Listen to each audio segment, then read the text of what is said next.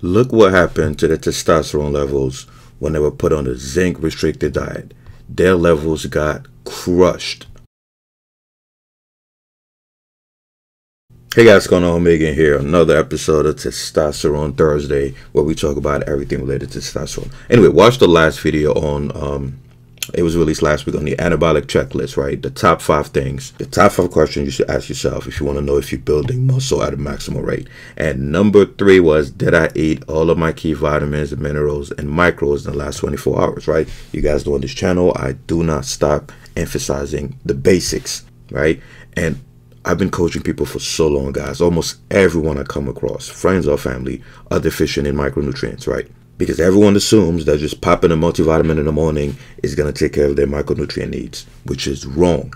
And not only that's hurting hypertrophy, it's hurting your ability to put on muscle and strength, but it's also crushing your testosterone levels. You guys are so quick to hop on TRT, hop on roids, instead of first taking care of the basics. I have yet to meet a single person who came to me for coaching or for advice who was not deficient in at least one, if not five, micronutrients. And you guys are wondering why you have a hard time recovering, hard time building muscle, hard time losing fat. But anyway, back to this study here.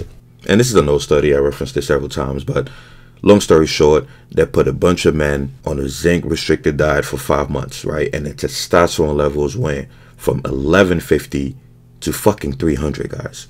That is insane. These motherfuckers aged like 50 years in five months in terms of testosterone levels, right? And I'm just putting those two pictures here because you know those are the top two sources of zinc, but that's not what they were restricted in uh, in actual study, right? So don't get confused. But long story short, they were put on the zinc restriction diet for just 20 weeks, and look what 20 weeks, and that's just zinc, guys. That just controlled for zinc. Look what 20 weeks of zinc restriction, which so many of you motherfuckers are deficient in, did to their testosterone levels, right? And you guys are wondering, why is my testosterone level so low? I need to hop on TRT. No, bitch. You need to get your zinc. You need to get your micronutrients. You need to get your magnesium. You need to get your sleep. All of the things that I beat a dead horse over for the last 10 plus years. Guys, do you realize how huge of a drop this is? 1150. So they went from having super high testosterone levels, and that's not shocking, you know, back in 1995. And even before that, you know, men had much higher testosterone levels, and you guys already know why.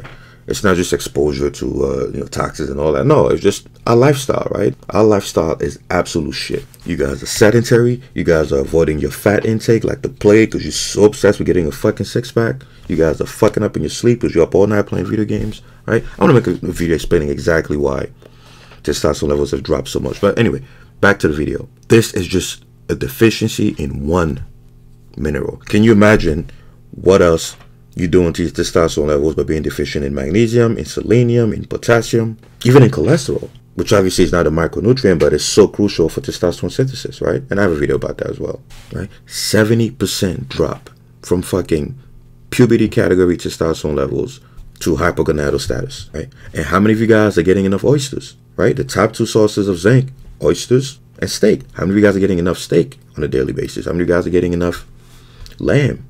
And I know none of you motherfuckers are eating oysters. And I don't want to hear, well, I took a multivitamin. God, I hate that so much. You know how many guys take multivitamins and are still deficient in the key micronutrients? And I told you guys why several times. One, most supplement companies are full of shit. And two, a lot of those vitamins and minerals compete for absorption, so you can't take them all at once. Get your sources from foods. There's nothing wrong with supplements as long as they're used to supplement your diet, not replace your diet right? You guys are so quick. Every time I make a video about something, like they own bullshit. Don't even get me started on that, right? I tell you guys, get it from food, get it from foods. And I get a billion emails about, should I buy turkesterone? What the fuck, guys? Stick to the basics. Because you're not only getting the micronutrient you're deficient in, but you're getting a bunch of other shit from foods. Whereas if you're getting your stuff from supplements, you're only getting that one nutrient. So why not hit five birds with one stone?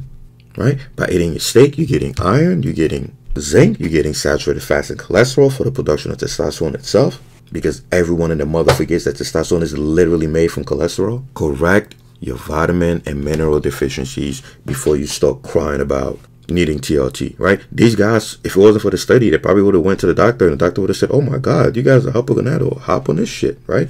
Meanwhile, all they had to do was eat more zinc. Now you guys see why I hate the supplement industry so much and why I despise the TRT industry even more as important as testosterone is, you guys know it's one of my favorite molecules in the human body. Testosterone, dopamine, myostatin. You know, I have too many videos on those three molecules. I love them too much, right? So as important as testosterone is, I still believe that most of the people on TRT do not need it. How do I know? I've been training people for fucking years, guys. I look at the diet, so I'm like, holy shit. I look at the sleep habits, I'm like, holy fuck. You don't need TRT. You need to be more disciplined and you need to fix your lifestyle habits. The only people who need TRT, the only people who need testosterone, I told you guys, number one, professional athletes or IFBB bodybuilders, because millions of dollars are at stake, obviously, for the athletes, not for the bodybuilders, right? And obviously, if you're not BB, that's common sense, right?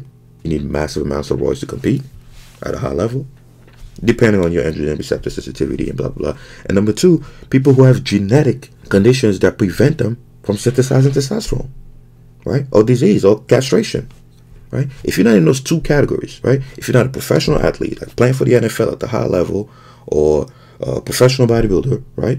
And if you don't have a genetic condition or disease that literally stops you from producing testosterone from your own fucking balls, then you have no business being on TRT. But again, that's just my opinion.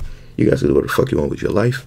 And like I said, I coach several people on TRT, so it's not like I have something against people on roids. You guys know me, I help everybody. I fuck with everybody. As long as you're trying to improve, as long as you're trying to better your life, I'm here to help.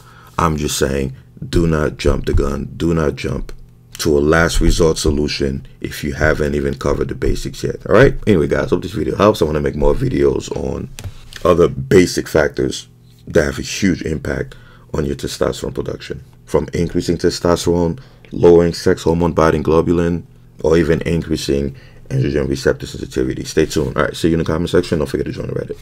Alright guys, don't forget to like or share the video, subscribe and hit the bell, and buy my HSP Nucleus Overload Training Program. It's the ultimate program for maximum muscle growth. It includes full body workout splits, bro splits, push-pull, home workouts, you name it. Also comes with a complete guide for macros, nutrition, fat loss, muscle growth, hormones, including a meal plan. It's pretty much all my 16 years of experience condensed into one fucking book. You're also going to get free copies of any future edition. So visit team3dalpha.com and you can use the 40% off coupon code Nucleus Overload. Or you could just buy the shit at full price. Alright guys, I'm out of here.